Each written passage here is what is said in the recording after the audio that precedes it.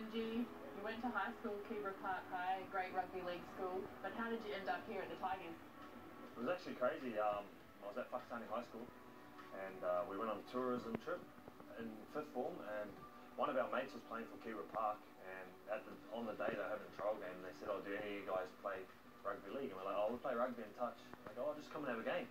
So three of us had a game and um, played against the Canberra SG ball team and we actually went pretty good. They on scholarship. We were supposed to go to Canberra Raiders, but then Canberra dropped Keebra Park and then the Tigers signed up Keebra Park. So I was coming to Australia thinking we're going to end up in Canberra. So